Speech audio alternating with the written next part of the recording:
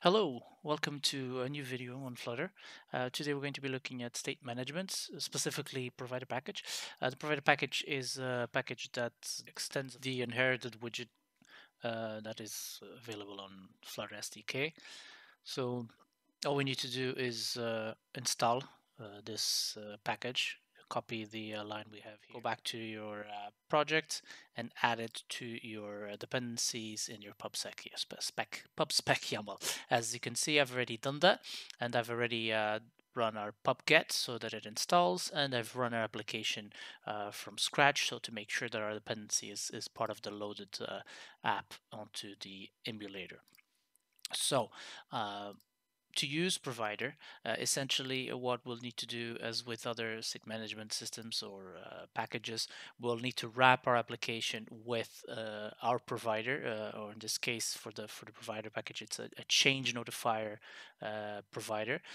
change notifier comes from uh, the inherited widgets um, and this will allow us to uh, have our state or in this case a class that uh, uh, and with its properties and methods accessible throughout our whole application through the context of the application.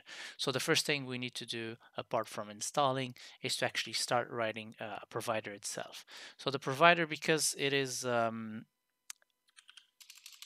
sorry, let me just call here to-do list provider because our provider uh, is is actually uh, the class we're going to use is actually just a change notifier. It's actually inherent to to Flutter, which means that we don't actually have to import uh, our uh, provider package here directly. We just need material because we're just going to be use change notifier.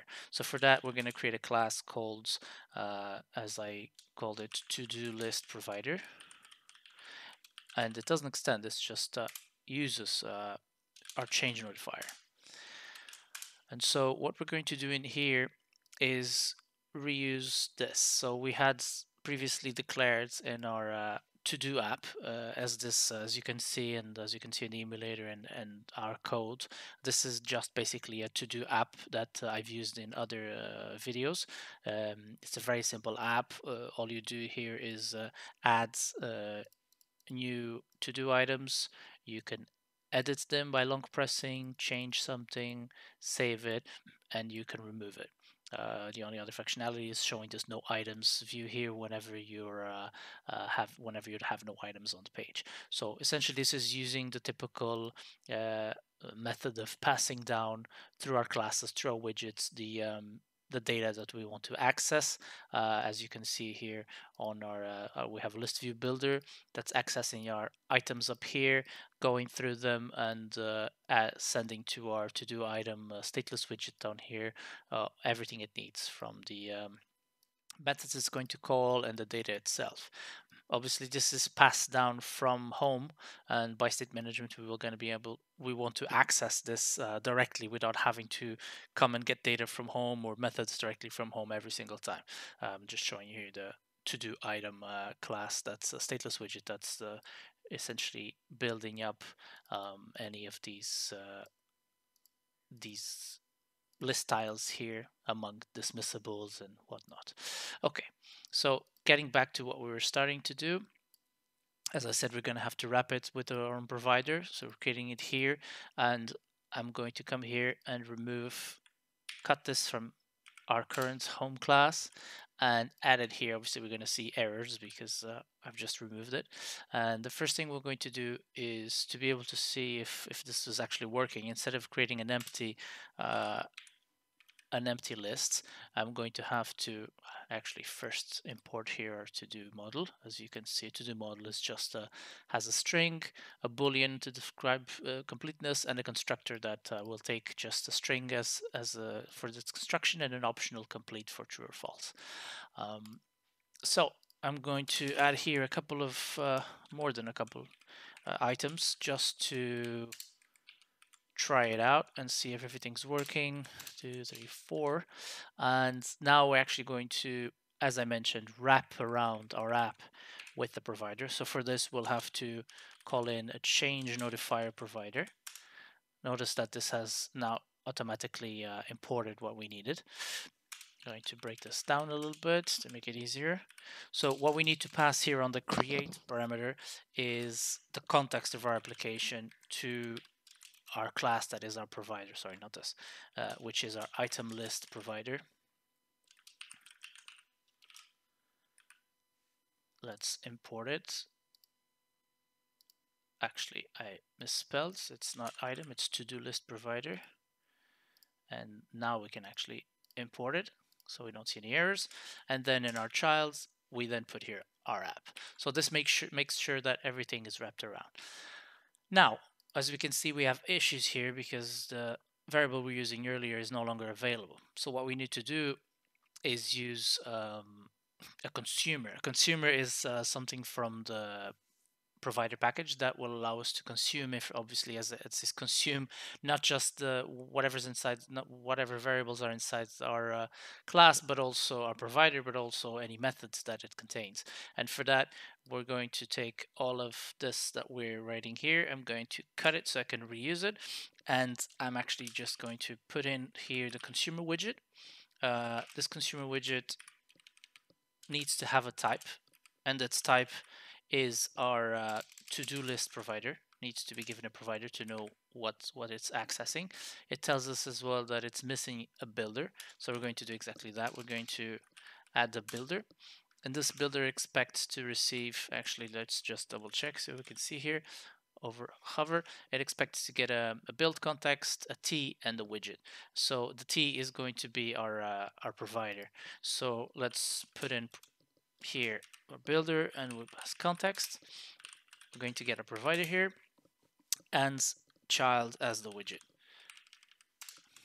So now here, this will return what we were building earlier. Just need to make a small change, correct this. And now what we need to do.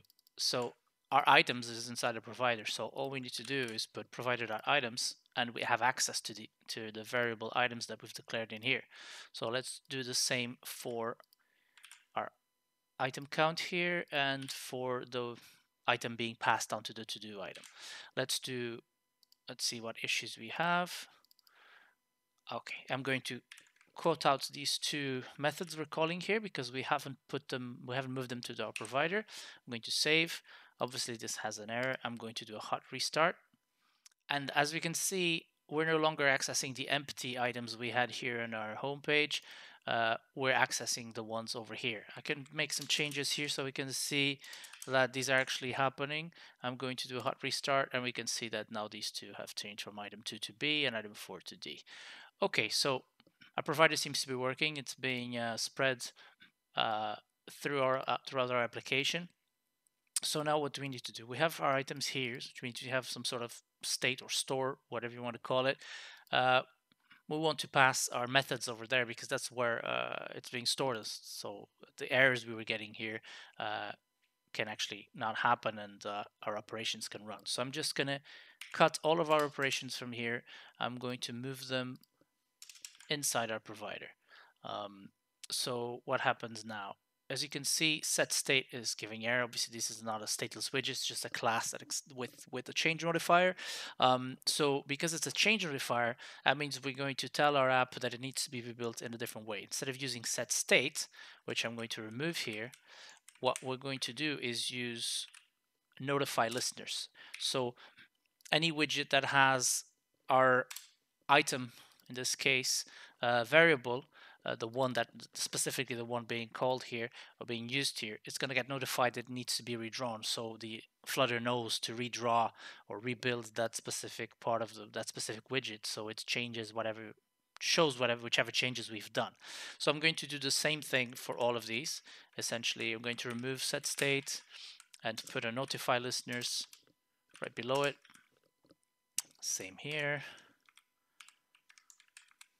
Just a second and the same here. And now let me just copy paste this to make it easier. Uh, question is here now do these two new do these two ones like uh, item complete uh, uh I mean uh, sorry change the completeness? Does it need to be here? Not necessarily. As you can see it's specific changing one item but I find it uh, you could do it in another way but I find it a bit useful to have all of our operations related to the items in uh, one place. Um, now this means also that uh, these these obviously are no longer available in the same context here in the same scope because they, are from from our provider now. And the same happens over here uh, to these ones pertaining to the to-do item. So in this case it's easy because we have since we have access to our provider we just need to do exactly the same thing. We just pass down from our provider the methods that we've now declared uh, inside and they'll be passed down to our to-do item and they can be used as they were before. Our to-do item really doesn't is abstracted from this doesn't doesn't care. It still receives their functions that expect to do items and works uh, normally. Now, in the case of these, this is where I'm going to do, even though it might not be the ideal architecture, what we'll be doing here to show our example of our uh, provider is remove uh, this the, the way this is working. So when we got, when in our item view, whenever we our navigator popped, it passed the new text or new description that we wanted and would insert them uh, through through this future here. So instead of doing this now, I'm going to remove these completely, just fix this indentation here. And instead, we're going to do this in our item view. So I'm going to move that logic over here. As I said, this now might be the best architecture, but to give the example that we can access uh, all the data in our provider from anywhere in our application uh, with the same context. So I'm going to put some validation here first. Uh, actually, before that, I'm just going to create here a local variable uh, called description, which is because it's going to be the description, this text uh, editing controller.text is the description of our uh, any of our uh, to-dos. And so first of all, I'm going to check if this description is not null and it's also not empty is not empty. And if that is the case, then this is when we're actually going to uh, submit it to the, the pop to the previous view. But now the part that matters for our provider is we're going to check as you will see. So I'm checking if widget uh, is null because this is what we were using to differentiate if we were editing or um, creating a new item. So if a new item, uh, if an item was being passed into our item view, uh, then we'd know that this is obviously being something we want to edit, um, and we would just add it to our text editing controller, and as we saw earlier, would show up. But in this case, uh, if you don't get it as it's an optional parameter, then you knew it would be a new item. We'd take that, submit it, and then as we saw here in our edit uh, view or go to a new view, we would just add so we can roll back so you can see the difference. We'd add a new task. But since we're now doing all of this in here, sorry, in here, uh, let's do those checks here. So if uh, if our item is null, then we want to is not null we want to edit. So how are we going to do that? We want to access our provider uh, from a different class. Uh, notice we're not we're not wrapping it up with our state uh, notifier provider because we've wrapped our whole application with it. We don't need to redo it in other classes. We can access it through the context. And this is exactly what we're going to do here. So we're going to say uh, we're going to go into our context and we're going to use read. It's not available yet because I haven't imported our provider class. This is, this is what we're going to do now. going to do here, provider, and now if I check this again, we'll see that we have a read option. So we can we want to read our provider from within our context. And for that, I'm actually just going to have to pass on this um, type, essentially, for our method. And now we can see we have access to our items, and our methods. And this is, uh, we're checking if the item is not null, that means that we want to edit the current task. And we have our item here. So our edit task, as, as we've seen, uh, expects to receive an item and a description. And this is exactly what we're going to do, except I'm going to put widget dot because we're receiving its stateful widget so we're receiving it from up here and we need to put widget to, to access it. And then we already have our description as as the local variable that we just we uh, declared over here.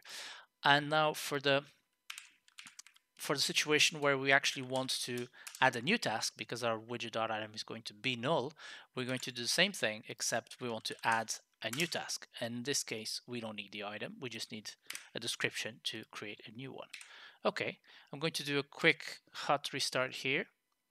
and see if everything is working. So deleting is working. It's this. Otherwise, we'd we'd get a, a notification here or an error here showing that uh, it wasn't properly updating the our list of items. But now the changes that we've done here in our submission, we can see that if I try to submit, um, we put the condition here saying if the description was null or empty, it won't be able to submit. But let's create a new one, submit, and there we go. It's uh, because our widget item was null, it's going here, it's going to access our provider from our context, it's going to add a new task. Now let's edit one of these. And as we can see, if I start writing something here, and I submit, it's editing. So because the widget wasn't null, it's going to use our edit tasks from our to-do list provider, pass it which widget, which item it wants to edit, and pass its description. And now we edit it, it gets changed, notifies our listeners, and this means that uh, it gets access here. Now, one detail is that I'm using read here because we actually, when we do this, we don't want to uh, refresh. We don't want to rebuild anything because we're doing a navigator pop, which means we're going back to our view. Uh, we don't want this specific action here to repaint or rebuild our view. It's only when our task is edited that we and changed that we actually want the notify listeners to happen and rebuild. Hence uh, the way this is done. So in review, what we've done from the start was um, install our dependency, so our package provider. We created our, our provider, uh, essentially uh, without even needing to import the provider itself. We just declared the new class uh, as its as the provider with a change notifier. We put our variable in here. We put our operations that changed our, our list of, of items, a list of to-dos here. Uh, we've wrapped around uh, our whole application uh, with a change notifier provider, which means that we passed our provider and give it give it the context of our application and use the our app as the child. And then whenever inside widget or widget tree we want to consume some data or use anything, we would just declare the consumer uh, of the type of our provider uh, with the builder that provides us the context, the the provider itself and child we don't we don't really need to use this directly here. And then through a provider we can access the data that we have there. So our items um, and the whichever uh, whichever methods we we had declared inside as you can see here. And then in our item view which is a different class different view um, we did we didn't need to do a lot of redeclaration. All we needed to do is in our submission without changing anything else in our in our stateful widget here we just accessed we imported our provider uh, which allowed us access within the context to read uh, our provider and access the methods we wanted to make changes to. And again we, we use read because we don't want to uh, re um, rebuild anything in that view until actually these changes are done and that's why uh, here on a provider we we use our uh, notify listeners here on the edit task and the add new task. And that's about it. Uh, we can still remove items uh, our remove item is still working fine. Uh, we can add items and we can edit items just as we were before, except now we have access throughout our whole application through a provider, uh, essentially having state management. Uh, thank you for watching. Uh, remember to subscribe and leave a like if you uh, like the content. Thank you.